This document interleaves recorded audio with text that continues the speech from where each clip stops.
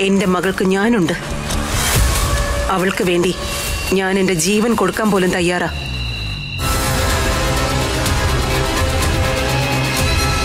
ബാലിക സാറിന്റെ വീട്ടിൽ റാണിയമ്മ ഇപ്പൊ അവിടെ ഉണ്ട്.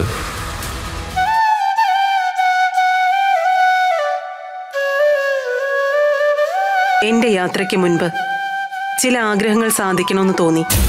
ചിലപ്പോ ഇനി ഈ ആഗ്രഹങ്ങളൊന്നും സാധിച്ചില്ലെന്ന് വരും.